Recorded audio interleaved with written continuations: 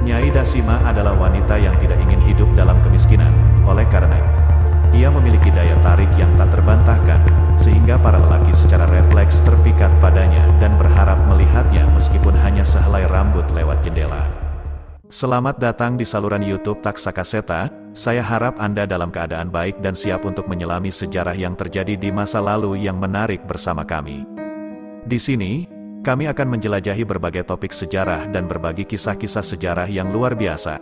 Jangan ragu untuk berinteraksi melalui kolom komentar dan jangan lupa untuk tekan tombol subscribe agar tetap terhubung dengan konten-konten menarik di masa mendatang. Mari kita mulai petualangan ini dan saya harap Anda menikmati setiap momennya. Cerita Nyai Dasima meninggalkan jejak bangunan bersejarah yang dibangun pada abad ke-19. Rumah Nyai Dasima bersama Toyan Wei berada di Pejambon, tepatnya di belakang Gereja Immanuel, dekat Stasiun Gambir. Gereja Immanuel didirikan dari tahun-tahun 1835 sampai tahun 1839 dan dirancang oleh Tuan Horn. Gereja itu diresmikan tepat tanggal 24 Agustus tahun 1839 bersamaan dengan hari lahirnya Raja Belanda Willem I. Gedung Pancasila, sekarang Gedung Kementerian Luar Negeri, Awalnya hanya hutan belukar dengan rawa-rawa, tahun 1648 mulai berubah setelah tempat itu didiami penduduk keluarga Anthony Chestelin menguasai kawasan itu untuk pertanian tebu dan padi guna keperluan VOC. Tapi ketika tak ada pewaris yang tersisa untuk mengurusi warisan tanah itu, maka jadilah tempat itu sebagai Hertog Pak Sepi. Tentang gedung itu sendiri diperkirakan berdiri dan mengalami renovasi dalam kurun waktu 1890 hingga 1950. Kabarnya jembatan Kuitang, kini depan toko buku Gunung Agung, tempat pembunuhannya Ida Sima.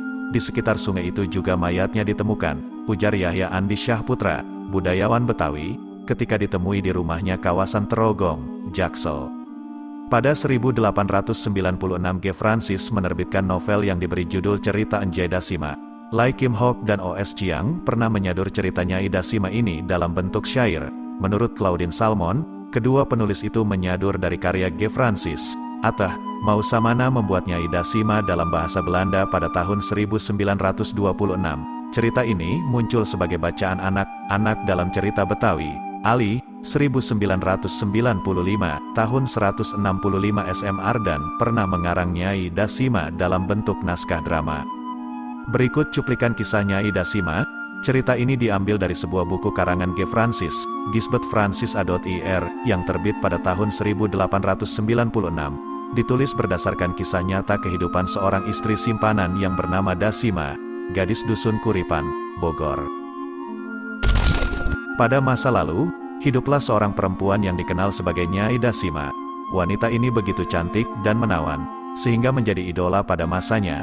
Kecantikannya berhasil memikat hati seorang pria bernama Tuan Edward, yang berusaha dengan segala cara untuk mendapatkannya.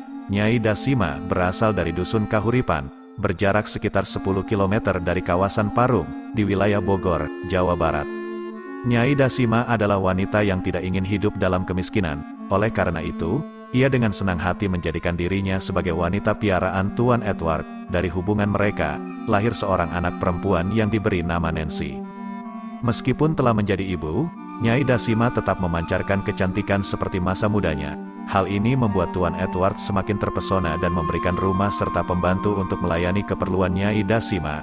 Awalnya, mereka tinggal di Curug Tangerang sebelum pindah ke Pejambon, Batavia.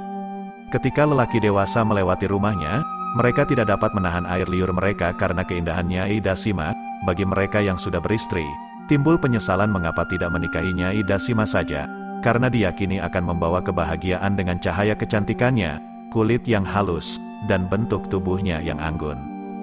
Begitu pula, bagi para duda dan lelaki lajang, timbul keinginan untuk memperistrikannya Ida Sima. Ia memiliki daya tarik yang tak terbantahkan, sehingga para lelaki secara refleks terpikat padanya dan berharap melihatnya meskipun hanya sehelai rambut lewat jendela.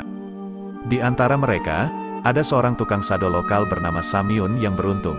Dia memiliki paman yang merupakan seorang tentara dengan jabatan Komandan Onder Distrik Gambir, sehingga memiliki kesempatan untuk masuk ke rumah Nyai Dasima atas urusan pamannya. Samyun sebenarnya telah beristri, tetapi kehadiran Nyai Dasima membuat hatinya goyah.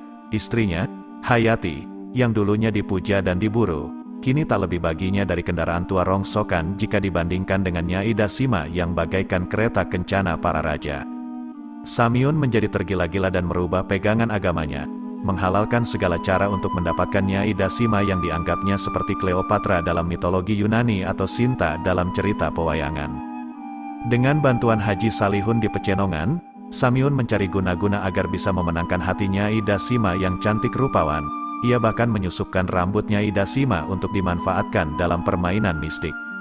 Perlahan, Nyai Dasima berubah pandangan pada Samyun dan menganggapnya sebagai pria gagah di Batavia yang tak tertandingi oleh Tuan Edward, yang hanyalah seorang lelaki tua tak berharga di pasar Senen.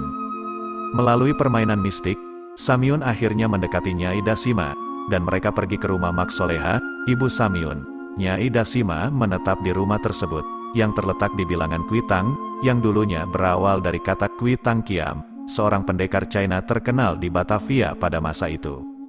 Sebelum melanjutkan rencananya, Samyun bersekongkol dengan Hayati, istrinya. Dengan janji harta, Hayati setuju dengan pernikahan Samyun dan Nyai Dasima, berharap bisa mendapatkan kekayaan dari Nyai Dasima. Persetujuan ini membuat Samyun yakin dalam mendapatkan Nyai Dasima. Meskipun Nyai Dasima adalah perempuan cantik yang menjadi bunga di Pejambon, kehidupan rumah tangga mereka tidak berlangsung mulus. Harta miliknya Ida Sima semakin berkurang dan menjadi beban bagi keluarga Samyun. Mereka kecewa karena Nyai Dasima tidak lagi membawa kekayaan, dan Samyun pun terdorong untuk meminta cerai. Nyai Dasima akhirnya menceraikan Samyun, tetapi karena keadaannya, ia tidak bisa kembali ke Pejambon untuk memohon pengampunan dari Tuan Edward yang telah dipermalukan, Nyai Dasima terjerat dan tetap tinggal di rumah Samyun karena tak memiliki keluarga di Batavia dan tidak memiliki uang untuk pulang ke kampung halamannya. Hayati semakin kesal karena Nyai Dasima menjadi beban bagi keluarganya. Dia mendesak Samyun untuk menyingkirkan Nyai Dasima, namun Samyun bimbang dan berusaha mencari cara untuk melakukannya. Di sisi lain, Samyun masih merasa simpatik pada Nyai Dasima dan menghadapi konflik batin dalam hatinya. Mak Soleha, Ibunda Samyun, Awalnya marah pada Nyai Dasima, tetapi perasaannya berubah ketika Hayati menuntut untuk memiliki bagian dari harta Nyai Dasima. Mak Soleha berbalik dan meminta Samyun menceraikan Hayati agar dia bisa menikahi Nyai Dasima dengan sepenuhnya. Namun, Samyun merasa terjebak dalam kebingungannya dan tak mampu mengambil keputusan. Hal ini dimanfaatkan oleh Hayati yang terus menuntut bagian dari harta Nyai Dasima. Di saat yang krusial, sebuah tragedi menghampiri Nyai Dasima, pada suatu hari, saat mereka berdua berjalan menuju Kali Ciliwung, Samyun membawanya Ida Sima untuk mendengarkan pertunjukan tukang cerita tentang Amir Hamzah di Gang Ketapang, Jalan Gajah Mada. Namun, di tengah jembatan, sebuah bayangan muncul, seorang lelaki kekar dengan cepat mendekati Nyai Dasima dan mencoba membunuhnya. Namun pukulan itu hanya mengenai bagian belakang kepala dan melukainya parah. Ternyata, inilah rencana yang sudah lama direncanakan oleh Samyun, ia telah menyewa Bang Puase untuk membunuh Nyai Dasima. Setelah terluka, Nyai Dasima mencoba meminta pertolongan dari Samyun, tetapi ia hanya berdiri di seberang jembatan tanpa membantunya. Akhirnya, dengan bantuan golok dari Bang Puase, Nyai Dasima tewas dengan tragis dan mayatnya hanyut terbawa arus kali Ciliwung. Tuan Edward sangat terpukul dengan kejadian ini dan melaporkannya ke polisi. Bang Puase akhirnya tertangkap, dan karena bukti yang cukup, dia dihukum mati dengan digantung. Sementara itu, Samyun berhasil melarikan diri dan tidak pernah kembali ke Kuitang karena takut ditangkap. Dia tetap bersembunyi karena perannya sebagai dalang di balik pembunuhan Nyai Dasima. Selama 200 tahun berlalu, legenda dan mitosnya Idasima tetap hidup dan diyakini masyarakat hingga saat ini. Konon, sosoknya masih bergentayangan hingga gedung Pancasila di Jakarta Pusat. Kisah tragisnya Idasima menjadi salah satu legenda misterius dalam sejarah Kuitang. Terima kasih telah menonton video kami di saluran YouTube Taksa Kaseta. Kami harap Anda menikmati cerita sejarah yang kami bagikan. Jangan lupa untuk selalu mendukung saluran kami dan aktifkan pemberitahuan agar tidak ketinggalan video menarik lainnya. Sampai jumpa di petualangan kisah-kisah sejarah selanjutnya. Salam pecinta sejarah dari Taksa Kaseta.